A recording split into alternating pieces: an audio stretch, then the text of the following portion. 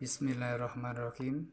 Para siswa, saya akan terangkan bangun ruang matematika kelas 8. Lanjutannya yaitu silinder atau tabung. Bentuk silinder seperti ini, kalian sudah tahu ya. Silinder ini kalau dibelah akan berupa bentuk terdiri dari bidang yang pertama ialah lingkaran atas dan lingkaran bawah. Nah, ini bentuknya lingkaran atas dan lingkaran bawah.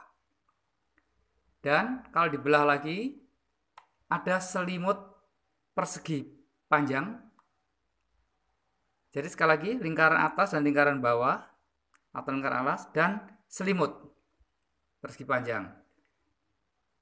Nah, maka ada lingkaran atas, lingkaran bawah, dan persegi panjang ya. Bagaimana rumus mengenai volume tabung. Volume tabung rumusnya ialah luas alas kali tinggi. Jadi PR kuadrat kali T.